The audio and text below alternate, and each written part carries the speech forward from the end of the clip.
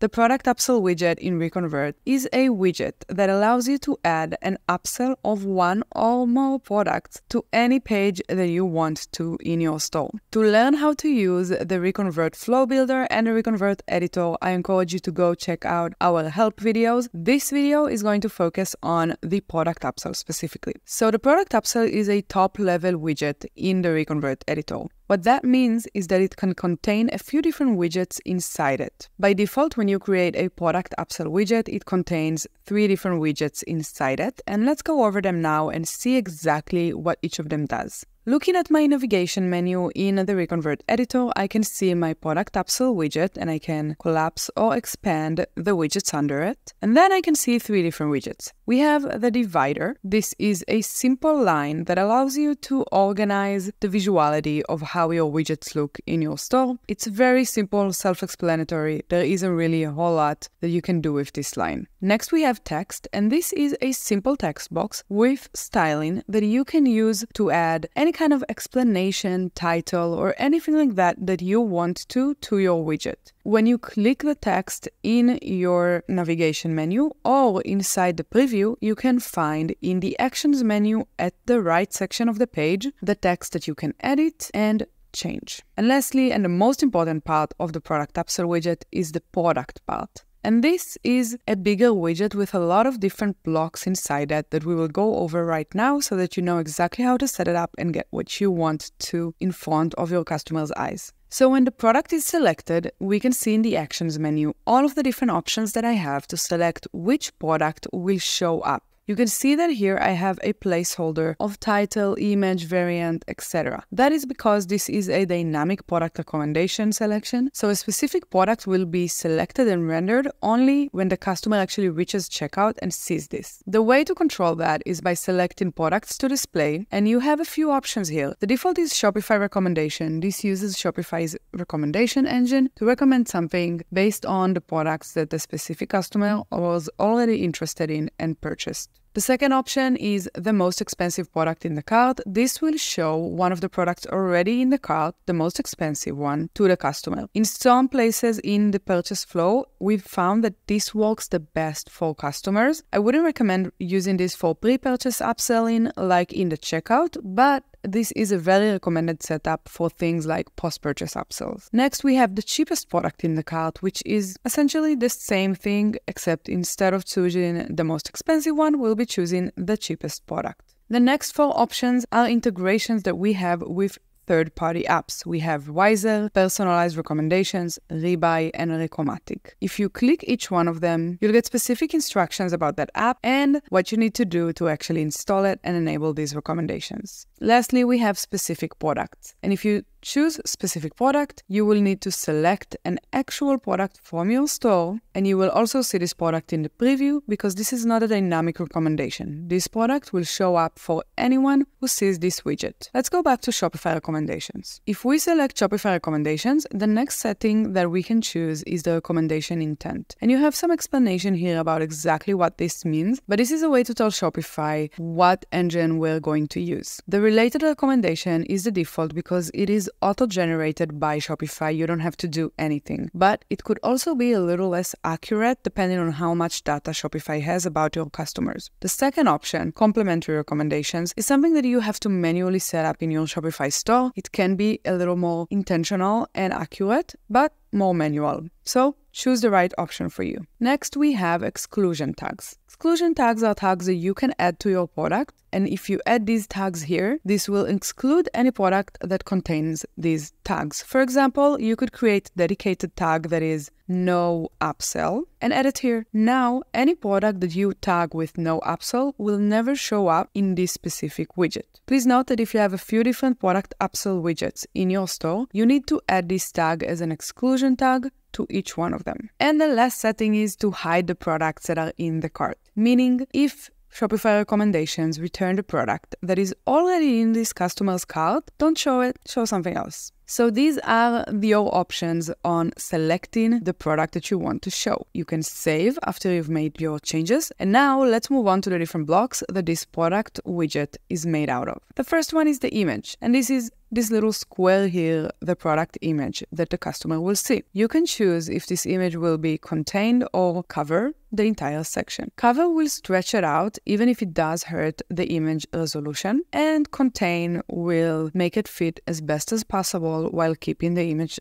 resolution. Next is image to display. The default and recommended option is the main product image. But maybe in this case you want to show a specific image, something different that is not related to the product. You can always do that by selecting a specific image and uploading it into the editor. I'm going to keep it as main product image. And lastly, you have the option to change the image according to the selected variant or not. If you have a few variants and each variant has a different image, this will change the image depending on the variant selected by the customer. Moving on, let's go over product details. The product details are essentially the title and subtitle of the product. The product title, by default, is a product name. You can display an alternative product title and enter it here. For example, this is a product. So this will show up no matter what product your customer sees. So I don't recommend necessarily using this unless you are using a static product. I'm going to keep it as the product title. And then for the subtitle, you, you can select what text is going to show up here. It can be the name of the variant, the vendor, the type, custom text, or nothing at all. I'm going to keep it, if you choose custom text, you can of course enter the text, but I'm going to keep it as the variant name because I think that makes the most sense. As always when making changes, just to make sure you don't lose anything, we're going to click save before moving on to the next step. Description. The product description is this little part right here where we can expand or collapse it. This will show whatever product description you have on your product page. Take into account that this widget is not a large widget and some product descriptions can be very long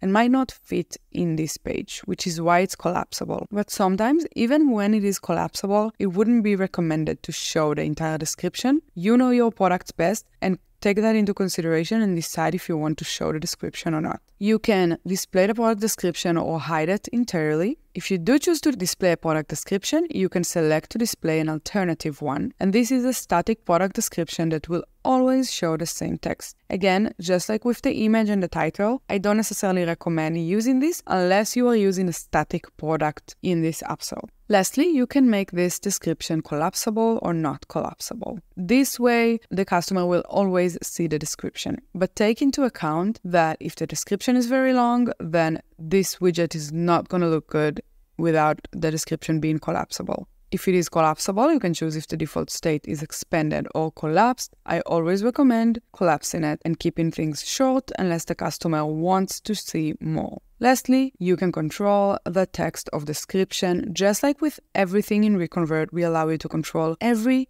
text that you want so you can translate it, change it to a terminology that fits your store, etc. Again, I'm going to save before moving to the next block, which is price and discount. In Reconvert, we have three different prices to each product that you can display. I'm going to go over them so you understand what each of them actually means. The first one is the product compared to price. This is the same product compared to price that you have on Shopify. If you are given a discount on Shopify on this specific product, meaning not through a coupon code, but actually through a built-in discount in the product pricing, this is the product compared to price. It is usually the most expensive price visible to the customer for this product. Second, we have the original product price. This is the actual product price on Shopify. So, whether this product is discounted or not, when the customer gets to checkout, when they actually have to pay for the product, what price would they be paying if they don't have any coupon code? This is the original product price. And lastly, we have the product price including discount. This is the calculated product price including the discount that you are giving through Reconvert if you are choosing to give to provide a discount. So this calculates the original product price and takes off whatever discount you decided to give before Reconvert and shows it here. You can select all three if you want to, but you have to select at least one by minimum. We recommend showing either all three or the original product price and the product price including discount. Now, if you select all three and one of them doesn't exist, you don't have to worry. The customer will simply not see the one that doesn't exist. You can control the size of these prices, medium, small, large, individually, just so that you can emphasize the price that you want to emphasize. Now, let's talk about a discount. You can apply a discount, and as you can see, it already added the second product here, the second price, and it is looking a little wonky with the sizes, so I'm gonna go back to default. And with the discount, you have a few simple options. First of all, you can limit the discount so that only orders above a certain value get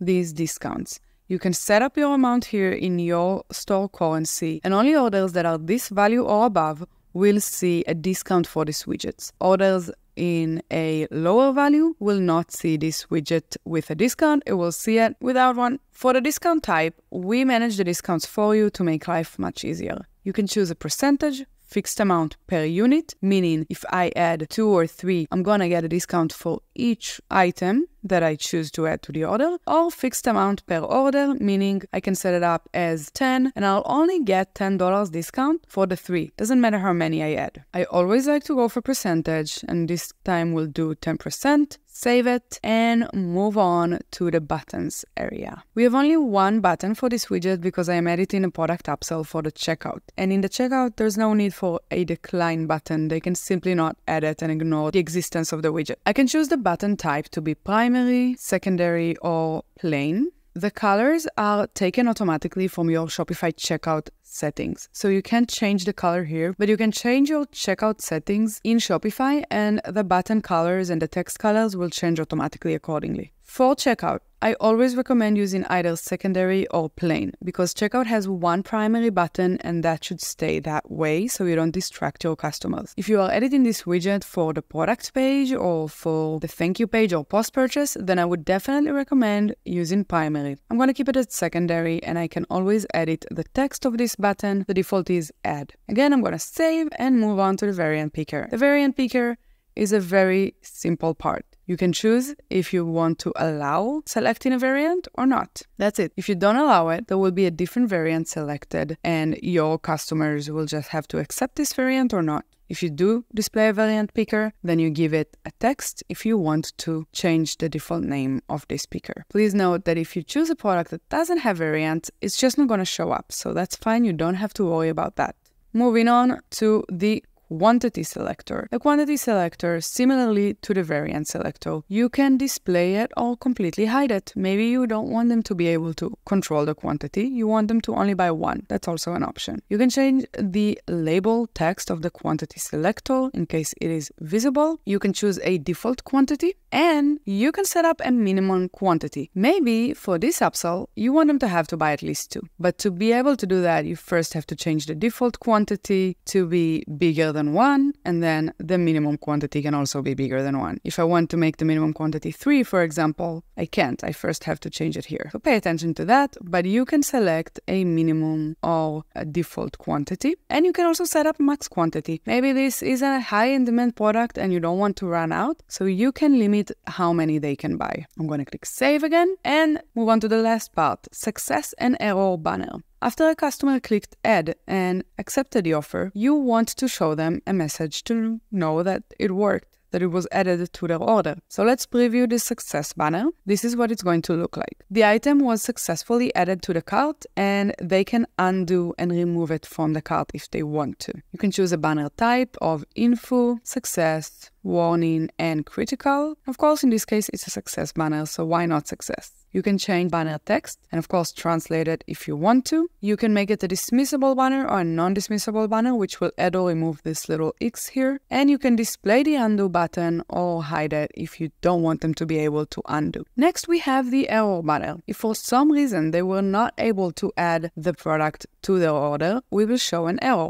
And this is what it's going to look like. There was an issue adding this product, please try again. And here we will change the text to be dynamic depending on the error that we actually got. So you can either select a dynamic text in which we will show in English what the actual error was, or you can uncheck that and just edit the text to be something generic in whatever language you want to. This banner can also be dismissible or non-dismissible. And of course, we have the banner type just like we do for the success banner. I'm going to save again. I do want to say one thing about the success and error banners. You can cancel them. You can make them not appear. I wouldn't recommend that because you want to give your customers an indication of what happened. Was it successful or not? So I would recommend showing them and not canceling the error and success button, even if you just show one generic sentence. This is how the product upsell widget works. One last thing that you can do with the product upsell widget. I mentioned in the beginning that it can show one or more products inside the product upsell, but here we only have one. So if you want to, you can very easily add a widget